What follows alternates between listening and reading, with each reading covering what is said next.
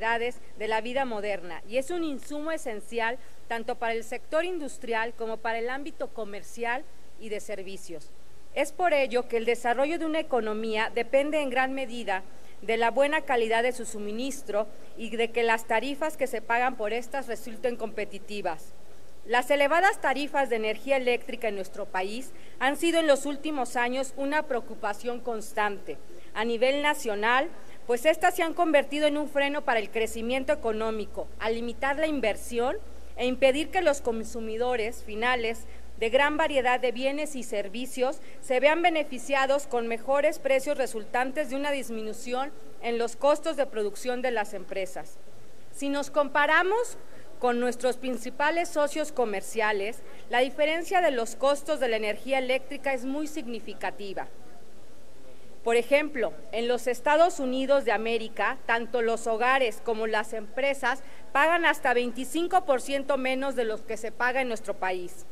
Lo anterior, desde luego, afecta sensiblemente la competitividad de nuestra economía. Ello sin soslayar que el Estado se ve obligado a subsidiar determinadas tarifas tanto del sector residencial como del agropecuario, lo cual representa un fuerte impacto para las finanzas públicas.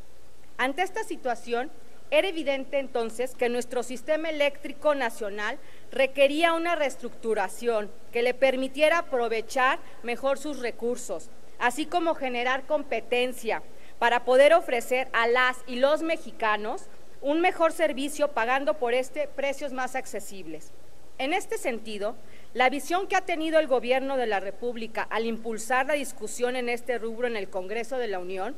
ha resultado un gran acierto,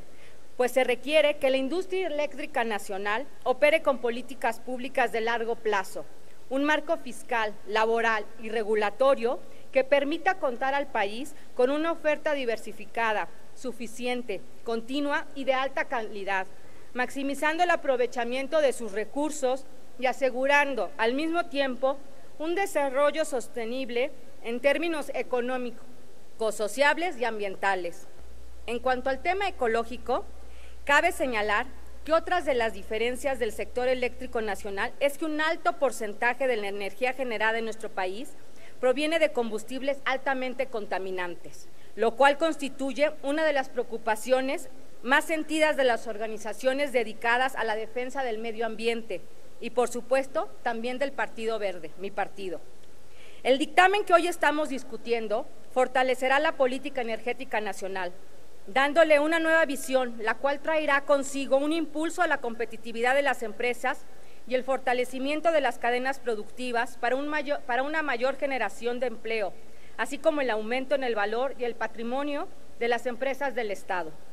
Esta reforma, al permitir la participación de particulares en actividades como la generación, distribución y transmisión de electricidad, garantiza la suficiencia de la oferta energética y promueve su diversificación, colocándonos a la altura de los esquemas que a nivel internacional han demostrado ser exitosos a este respecto. Con nuestro voto a favor de la aprobación del presente dictamen, seremos partícipes de la promoción del desarrollo sustentable de nuestra industria eléctrica, además de que estaremos sentando las bases que permitirán garantizar su operación continua, eficiente y segura en beneficio de los usuarios, así como el cumplimiento de las obligaciones del servicio público y universal de energías limpias y de reducción de emisiones contaminantes. Con esta reforma se abre la inversión en el sector, pero garantizando que el Estado mantenga la rectoría sobre el mismo, fortaleciendo con ello instituciones estratégicas como es el caso de la Comisión Federal de Electricidad. Queremos recalcar que el servicio público de transmisión y distribución de electricidad seguirá siendo prestado por la CFE bajo la regulación de la Comisión Reguladora de Energía, con el objeto de incentivar la expansión y operación eficiente de las redes. Así, también se prevén modalidades de contratación entre el Estado y los particulares para que estos contribuyan con su tecnología y experiencia a la expansión y mejoramiento de las redes de transmisión y distribución, lo que daría a la CFE una herramienta muy útil para combatir las pérdidas de energía y aumentar así la eficiencia del proceso de distribución de energía eléctrica. El país tiene un gran potencial de aprovechamiento de energías limpias y con estas reformas impulsará un mayor financiamiento de los proyectos de este tipo, aumentando con ello participación de las mismas en el sector con el objeto de promover el desarrollo tecnológico al mismo tiempo de incrementar los niveles de eficiencia y reducir el, impacto ambiental correlativo a la generación de electricidad.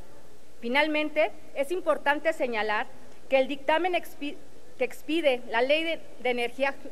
Geotérmica refrenda el compromiso que tenemos como nación de impulso a las energías limpias. Las centrales geotérmicas ocupan menos espacio que otras instalaciones. Es fácil integrarlas al paisaje y generan mínimos impactos ambientales. No obstante, una de las principales barreras que hasta ahora existían en México para su desarrollo era la falta de certidumbre legal para los inversionistas, situación que se revierte con esta reforma, con la cual se amplían las oportunidades para el aprovechamiento de este recurso a través de la exploración y explotación de los yacimientos con que cuenta el territorio nacional bajo criterios que procuran la integridad y sustentabilidad de los mismos. Compañeras y compañeros diputados, nuestro voto a favor, al margen de las consideraciones de carácter ideológico y de los intereses políticos, representa una oportunidad inmejorable para el fortalecimiento de un sector estratégico para alcanzar el desarrollo económico que todos deseamos para nuestro país. Votemos a favor y sentemos con ello las bases para la construcción de un mejor presente y un futuro más próspero para las y los mexicanos. Es cuanto, señor presidente. Gracias, diputada Padilla Ramos.